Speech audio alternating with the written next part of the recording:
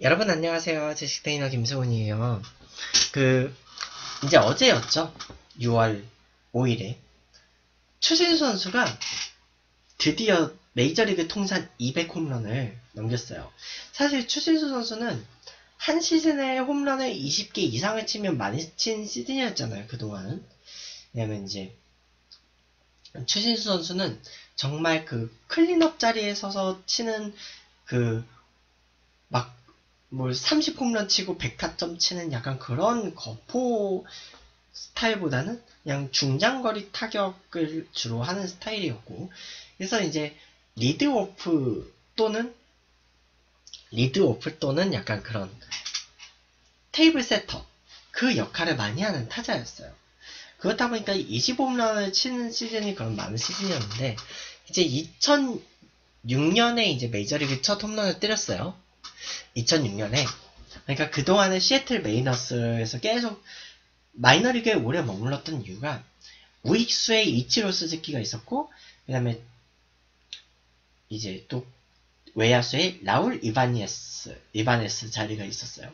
그렇다 보니까 이제 추신수 선수가 올라올 자리가 없었던 거예요. 그 트리플 A에서 아무리 그 막 뭐냐 리그를 막 폭격하고 막 그래도 자리가 없었어. 그랬었는데 이제 그래서 2005년 때 이치로가 계속 우익수에 있으니까 음 중견수라도 일단 올라와 봤어. 그러다가 이제 그 풀타임은 못 됐죠. 그래서 올라왔다 내려왔다 했는데 이제 2005년, 2006년에 계속 마이너리그 옵션 두 차례 쓰게 됐어요. 그랬는데 2006년에 클리브랜드 인디언스로 트레이드가 돼요. 2006년에 클리브랜드 인디언스로 트레이드가 됐고 그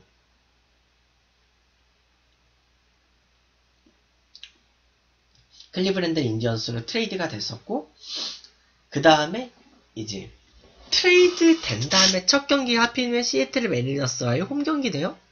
그래서 선발 타, 선발 출전을 하라는 지시가 나왔어요. 트레이드 되자마자 선발 출전이었어. 그리고 그 선발 출전 상대가 펠릭스 에르난데스였죠. 마이너리그 시절 동료였죠. 바로 결승 홈런 날려서 이겼죠. 그래서 그날 결승 홈런이 나왔고 그 근데 추진수 선수가 홈런을 날리는 거는 이제 아무래도 이제 발사 그 그때는 발사 각도보다는 정말 거기까지 타고 그래도 나갈 수는 있었어. 음. 지금은 이제 발사 각도를 올리는 방법으로 홈런을 많이 치고 있죠. 그냥 그랬는데 이제 추진수 선수의 스타일은 일단은 상대 투수에게서 좀 공을 많이 골라내서 투구수를 많이 늘리는 방법을 쓰고 있죠. 공을 많이 늘리는 방법을 쓰고 있고 그래가지고 그 방법을 통해서 투구수를 왕창 늘려. 투구수를 늘려. 그래서 뭐, 볼넷이 꽤 많아요. 추신수 선수는 이제 안 타도 그래도 칠 만큼 잘 치는 컨택이 좋은 타자긴 했지만 사실 볼넷을 잘 골라 나가는 그래서 출루율이 상당히 높은 타자였어요. 사실 그래서 이제 리드오프나 테이블 세터로 출루율이 좋았기 때문에 그렇게 많이 이제 썼는데 음 사실 근데 이제 추신수 선수가 그 텍스 이제 팔꿈치가 좀 고질적으로 아프기는 했어요. 고등학교 시절 때 투수였고 투수로 원래 시애틀 메이너스 계약했다가 타자로 전향을 했거든요. 그래서 타자로 전향했었기 때문에 그 투수 시절 때 안고 있었던 그 팔꿈치 통증을 그대로 안고 온 거야. 그래서 2007년에 결국 토미존 서저리를 받았어요. 토미존 서저리를 받았고 2008년에 이제 마이너리그 옵션이 모두 다 소진돼서 메이저리그에 이제 본격적으로 풀타임 시즌을 뛰게 되겠죠. 2008년부터가 근데 이제 그때는 부상자 명단에서 복귀하는 좀 늦게 시작했고 이, 2009년에 본격적으로 풀타임을 뛰기 시작하니까 25홈런을 치네? 2010년에 또 25홈런, 3할 20홈런 20도로 달성을 했죠. 그리고 2011년, 2011년에 그 2011년에 이제 중간에 부진한 시기가 있었죠. 부상 부상으로 시즌 일찍 접었고 그 그리고 음주운전을 했던 시기가 있었고 그리고 2012년에도 약간 부상 여파는 있었어요. 근데 이제 연봉 조정 자격을 갖춰 계속 갖춰가면서 연봉 조정 3년 차가 되니까 이제 클리블랜드 인디언스가 이제 돈이 별로 없는 팀이잖아요. 그래서 인디언스가 그 추신수 선수를 추신수 선수를 이제 팔아 넘겨요. 그리고 이제 신시내티 레즈하고 계약을 하죠. 2013년에 중견수를 1년을 뛰어요. 그때는 중견수를 1년 뛰고 이제 9월에 올라오는 빌리 해밀턴 발판 마련해주는 그런 중견수였어요. 그래가지고 이제 이제 FA 되니까 신시내티 레즈는 퀄리파잉 오퍼만 그 제시를 하고 재계약을 안 해요. 그리고 추신수 선수는 텍사스 레인저스로 갔는데 팔꿈치 통증에다가 발목 통증까지 안고 뛰었어요. 좌익수를 뛰었는데 그래가지고 근데 이제 팀이 계속 부상 선수들이 너무 많고 리그 꼴찌가 되는 그런 상황이었어. 결국 텍사스 레인저스는 2014년에 꼴찌를 찍었어요. 꼴찌가 거의 확정이 되는 순간에 이제 이제 팔 그 팔꿈치 그 팔꿈치 수술 토미존 서절이 아니었고요. 팔꿈 그 토, 팔꿈치 수술 받았고 그 다음에 발목 수술 받고 그리고 이제 시즌 쉬게 됐죠.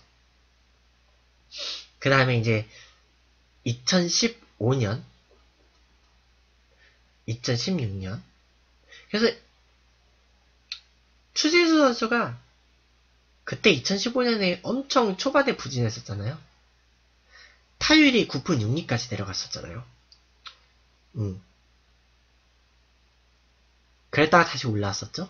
다시 올라왔었고 후반기에 엄청나게 스퍼트를 했죠. 그 다음에 그 추진수 선수는 그 이후에 이제 이제 우익수 수비를 보는 경우는 가끔 있어요. 가끔 우익수 수비를 보기는 하는데 그 이후에 이제 자꾸 부상자 명단에 막 왔다 갔다 하니까 결국은 이 도루를 포기를 하게 돼요. 그러니까 지금도 추진수 선수는 주루가 느리진 않아요. 느리진 않는데 그 도루를 포기하게 됐어요. 이 부상의 여파로 도루를 포기하고 그 지명 타자로 옮기게 됐어.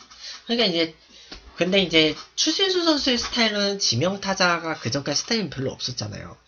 근데 이제 작년에 추신수 선수가 올스타에 뽑혔던 이유는 그럼에도 불구하고 팀에서 타격 실력이 그래도 발군이었기 때문에 그래서 감독 추천으로 올스타 게임을 출전을 했었죠.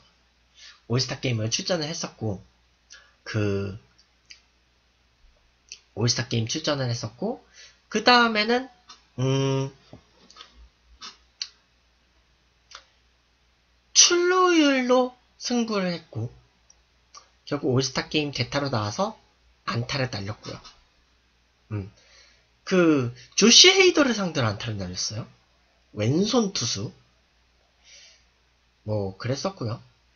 그리고 음, 그 다음에는 그 하여간 추신수 선수는 이제 레인저스에서 발목 부상이 있었던 이후로는 거의 보, 도루를 포기했다고 보시면 돼요.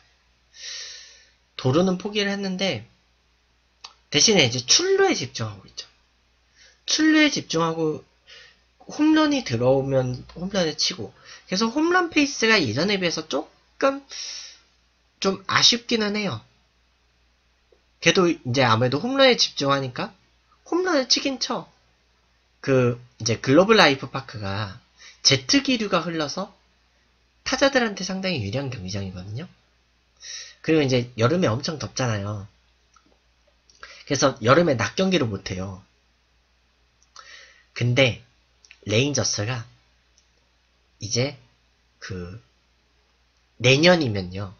새로운 경기장으로 옮겨가게 돼요. 개폐식 동구장으로 옮겨가게 되는데, 음, 이제 지붕을, 그,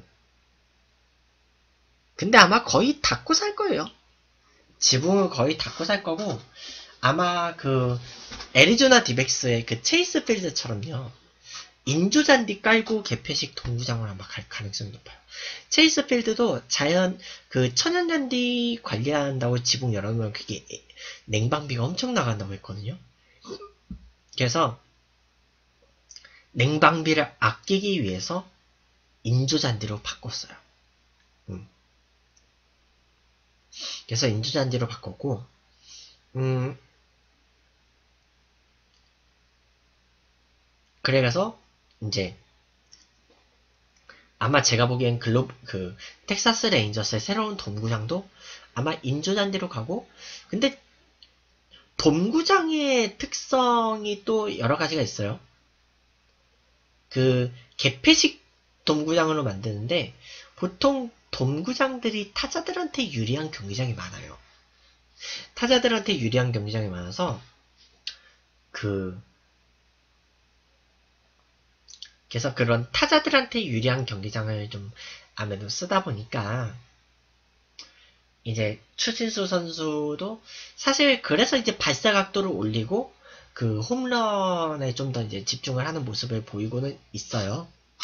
보이고는 있는데 음 사실 추진수 선수가 앞으로 언제까지 더 선수를 뛸지는 알 수가 없어요. 일단은 내년이면 내년 시즌까지 끝나면 그 레인저스하고 맺었던 7년 계약이 내년에 끝나요. 그렇게 되면 뭐 레인저스하고 재계약을 하든지 아니면 그 추신수 선수의 출루율을 약간 좀 필요로 하는 그런 팀하고 계약을 하든지. 근데 문제는 이제 아메리칸 리그에서 뛰기엔 조금 어려울 수도 있겠다. 그래서 음, 경우에 따라서는요. 저는 추신수 선수가 좀 외야수 수비를 좀 다시 봤으면 좋겠어요. 좀 적극적으로. 음. 외야수 수비를 좀 더 적극적으로 했으면 좋겠고, 음, 그래서 그런 추진수 선수가 좀 몸 관리도 좀 하고, 외야수 수비도 좀 하고, 그러면서, 음, 내셔널리그 팀으로도 갈 수 있게 좀 내셔널리그는 작전 야구가 많잖아요. 그렇다 보니까 좀 여러 가지 경우를 생각하고 그러면서 좀 추신수 선수가 앞으로 좀 커리어를 더 이어갈 수 있었으면 좋겠어요. 그래서 추신수 선수가 앞으로 몇 년을 더 선수를 뛸지는 모르겠는데 그렇게 하면 일단은 내년 FA까지는 아마 230홈런까지는 아마 때릴 수 있을 거예요. 아마 현실적으로 300 홈런 좀 힘들 것 같은데 한 270 홈런, 280 홈런?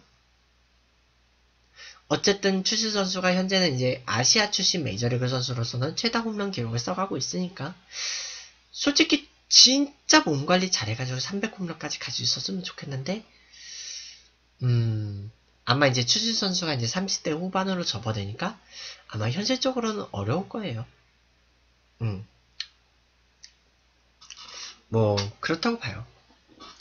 자, 그러면 일단은 여기서 추진수 선수에 대한 그 기록 이야기는 여기서 다시 보기 나누고 또 유현진 선수가 벌써 구승을 했기 때문에 유현진 선수와 관련된 또 기록 이야기를 좀 더 한번 나눠서 해보도록 할게요.